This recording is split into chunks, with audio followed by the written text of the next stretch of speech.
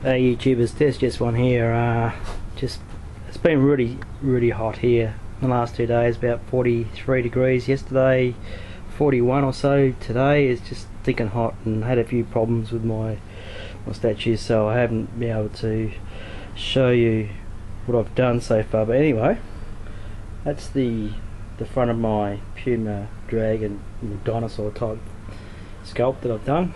The mouth, I was really happy with the mouth tongue and all and teeth and the eyes are cool. Uh, it has been cracking in a few places but I've been putting epoxy resin on there. That explains why it's so shiny. Uh, I've done this really cool like uh, snake um, but yeah on the top is pretty cool. That's going to hold some samurai swords. Two samurai swords going in those holes there. Um, yeah. Dinosaur type legs or feet. Um, I'm going to be doing like a, a dark brown undercoat with some black spots, almost you know, very similar to the the, the panther. Uh, so yeah, you'll be seeing some sort of dark brown pattern effect underneath a black top overcoat. So yeah, I'm not sure what I'm doing. I might, might change it to stripes down the below, below here or something like that. Make it a little bit different. Um, Just a little bit of ribs on the side here. Uh,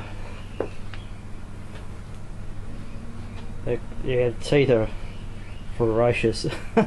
Drop the ears just like the, the cat would. Um, yeah. So tell me what you think. You like my snarly puma or cat?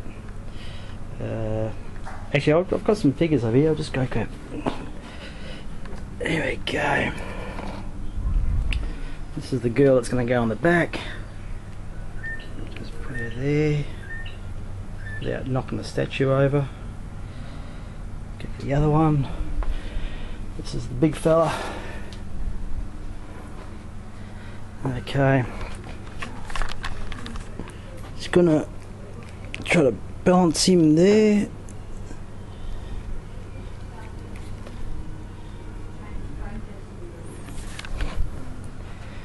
So you get the idea there sort of thing, what it's going to look like.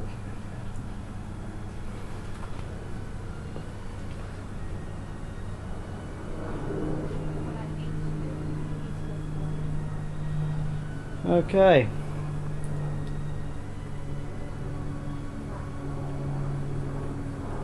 Test just spun out. Catch ya.